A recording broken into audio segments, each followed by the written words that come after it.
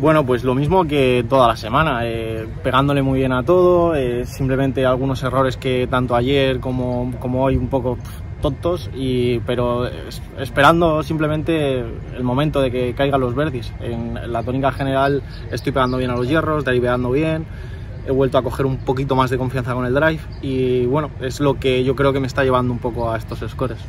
Que te escuchábamos antes decir, bueno, que salir un poco también con el objetivo, vamos a pasármelo bien con mi caddy y tal. Eso se dice muy fácil, pero, y sobre todo en los días buenos, es mucho más sencillo pasárselo bien. Sí. La cuestión es llevarlo luego a los días un poco más ásperos, ¿no? Sí, por eso en los días ásperos el Javi está haciendo el, el trabajo que, que te conté el primer día, que es lo que lo lleva él muy bien.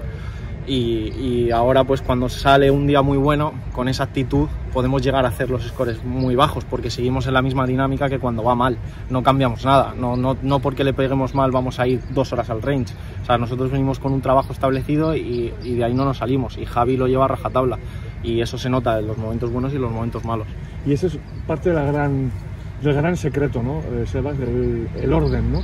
Cuando uno ya está en, el- en la primera división, ese tener la- el, el camino muy clarito y el orden y no irse saliendo cada dos por tres. Eso es, o sea, yo por ejemplo quería cambiar de driver porque me iba a reguleras, quería y me dice Javi, mira, no es el driver, Sebas. Dice, tienes que, tienes que aguantar y tienes que saber que está en tu cabeza y tienes que seguir haciendo el mismo trabajo. Y eso es lo que nos ha llevado a hoy drivear uno de los mejores días en tres después de Kenia y, y coger otra vez esa confianza y, y- y hacer un score tan bajo. Parece mentira, ¿no? Pero eh, por más que lo repitamos, eh, muchas veces sigue cayendo el mismo error, ¿no? Voy a cambiar el pattern, Sí, voy a cambiar la varilla, voy a cambiar, ¿no? Sí, es el mismo error siempre y, y, de hecho lo primero que me ha dicho Javi dice, ¿has visto? El driver, ¿no? Es el nuevo. pero, pero como siempre hay que darle la razón. y bueno, en general muy muy contento y, y como siempre ojalá pudieran ser así todos los días disfrutando de esto, aunque no sea con un score tan bajo. Bueno, es muy pronto quizá, acabas de firmar Sí, la tarjeta claro. como quien dice, pero mañana Bueno, veremos. eh, primero ver cómo, cómo terminan los de atrás y, y después pues ya veremos qué hacemos. Pero bueno, es un campo que le puedes hacer muy pocas y, y si estamos ahí apelotonados cualquiera puede ganar. Como, como dije el primer día, ojalá se lo lleve un español, pero puede ganar cualquiera. Pero ojalá se lo lleve un español, pero si es de Madrid se llama mejor. Bueno, evidentemente, pero, pero lo, lo importante es que estemos ahí en la, en la pelea, que es, que es lo difícil. Estar un domingo siempre para ganar, pues oye, eso significa que has hecho un buen trabajo los otros días. Oye, una pregunta que tenía interés en hacerte. ¿Qué te parece ver a alguien como Alfredo García Heredia, con la trayectoria que lleva? Es un jugador de casi 40 años y que, bueno, pues mira, de repente en un, torneo, ahí está otra vez un sábado y un domingo a lo mejor. Bueno, solo tienes que mirar eh, los últimos años, en, en el Gambito Tour o en el CB Tour. O sea, si no ganaba quedaba segundo. Y con scores muy, muy, muy bajos.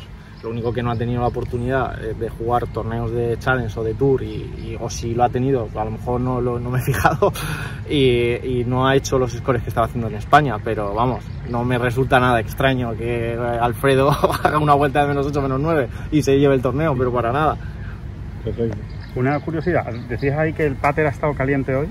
Sí. Eh, ¿A qué te refieres cuando dices que el pater está caliente y en qué momento te das cuenta de la vuelta de uy, hoy está tonto? más que la vuelta no me doy cuenta de que el pad está caliente hoy. O sea, llevamos pateando muy bien desde que cambié el pad, que me hicieron unas modificaciones Pepín para coger el grip y la postura, que yo llevaba un pad de 33 pulgadas y ahora llevo uno de 35 y medio.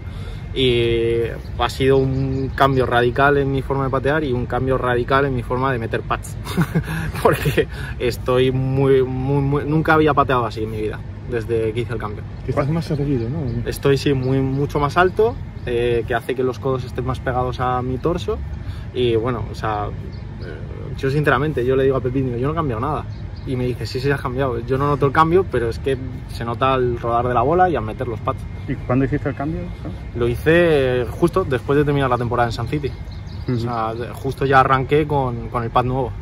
Y una última, ¿el momento de más presión del día ha podido ser la entrevista en inglés? Sí, de largo.